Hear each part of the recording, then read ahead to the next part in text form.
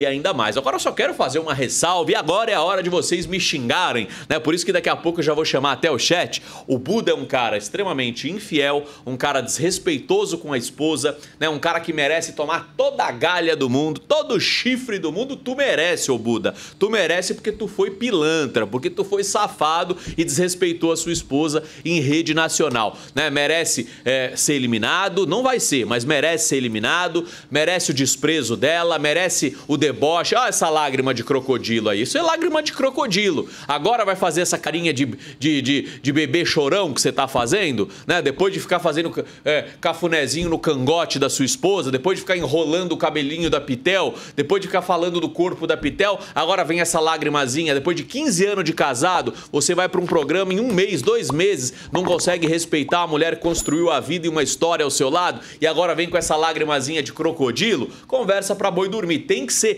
é, é, tem que ser eliminado e tem que ser chifrado, tem que receber a galha aí de toda mulher que se relacionar com você para você aprender, né, como é, é, uma falta de responsabilidade afetiva o que você fez com a sua esposa. Agora me xinguem, né? Eu quero saber qual a diferença dele pro Davi, né? Porque o Davi também tem um relacionamento aqui fora, né? O Davi também teve contatos com direito a toques na Isabelle. O Davi também deu encoxada na Pitel em uma das festas. O Davi deu beijo no cangote da Pitel em uma das festas. O Davi disse isso daqui, ó, prepara o print. Nós temos o print de uma conversa transcrita em relação à última festa que aconteceu é, é, no Big Brother Brasil. Essa festa foi no sábado, né, na, na verdade. Uh, e nós temos aí, esse daí, exatamente, ó, a conversa transcrita, ó. Olha o que o Davi fala para ela. É, tô sentindo, tô sentindo. A Isabelle fala o quê? Tá sentindo o quê? E aí o Davi fala, o amor por você. É? É. Mas é amigo, né? É amigo. Tá vendo como agora eu pego e mato vocês aí que gostam do Davi, que são fanáticos e que são cegos, né? Aí vocês não veem maldade, mas do Buda, né? Do o Buda também não beijou, né? Então vamos, vamos trabalhar aqui com a, a, a presunção de inocência em ambas as partes, né? Se nós fôssemos a um tribunal, o juiz ia olhar e falar assim, ó, tem traição, cadê o beijo? Não tem, então tá absolvido o Buda, né? É, mas o Buda a gente sabe que não tá absolvido. Então o Davi também não pode ser absolvido, né? Porque aquele beijinho de esquimó que ele tentou com a Isabelle, né? Sentir ciúmes da Isabelle, isso não é comportamento de cara casado?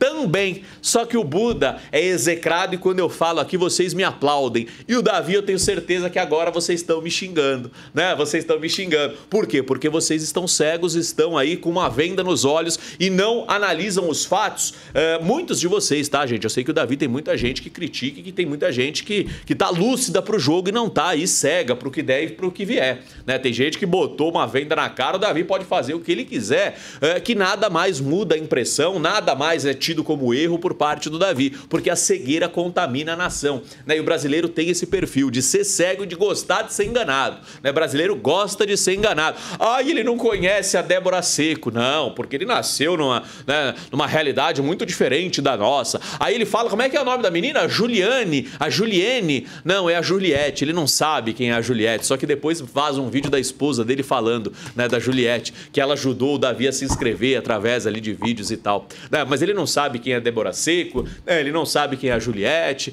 né? É, é, ah, ele é um menino preto, pobre, da... ele é de Salvador, é da quinta maior capital do Brasil, ele não mora no, no interior de um monge, né, no interior do Tibete, ao lado de monges, onde ele passa o dia inteiro sem tecnologia, sem informação. Não, ele é só um garoto pobre, né, é, que sabe sim quem é Juliette, sabe sim quem é Débora Seco, é um personagem. Tudo bem, é jogo, né? Ele tá enganando o Brasil inteiro. Né? Agora não sabe quem é Juliette, ele falou Juliene, né? É, não, mas tudo bem.